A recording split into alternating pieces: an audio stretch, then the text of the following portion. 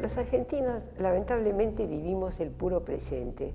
Es algo que es casi permanente, digamos, de la mitad del siglo XX para acá, y que tiene mucho que ver con políticas de corto plazo, que siempre han sido políticas para tapar problemas y políticas que hipotecaron el futuro. En las buenas porque se gastó lo que podía haberse usado razonablemente para un futuro mejor. Y en las malas porque de todas maneras nada podía mejorar sino empeorar.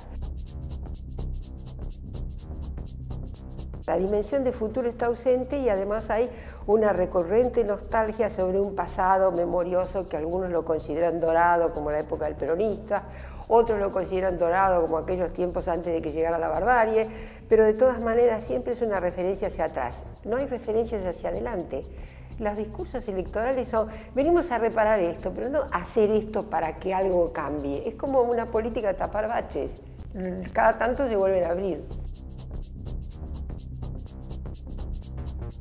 Uno tiene que tener una política educativa que es inversión en futuro, calificando mano de obra para la transformación de la economía productiva. El recurso humano es aquel que puede garantizar continuidad en un proceso de desarrollo, porque finalmente toda la polémica, como en el resto de la región, hace muchas décadas gira acerca de cómo hacer un desarrollo sostenido y equitativo.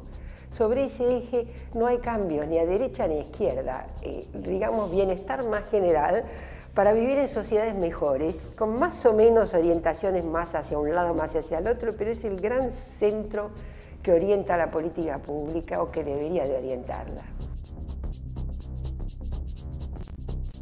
Evidentemente no se puede pensar el futuro, imaginar un futuro sin diseñar políticas que lo preparen. La discusión política es precisamente imaginar un futuro, es pensar cómo podemos llegar a lograr ciertas metas y diseñar caminos para hacerlo. En realidad, el kirchnerismo es puro presente, la dimensión de futuro está ausente de los discursos políticos de la presidenta. La presidenta llegó con el testimonio de lo hecho por su marido y se va a ir ahora, no sabemos si volverá, pero se va a ir con el testimonio de lo hecho. Siempre hablamos de esto que hicimos y nos comparamos con el enorme pozo del 2001 pozo sobre el cual cualquier mejora se multiplica por mil.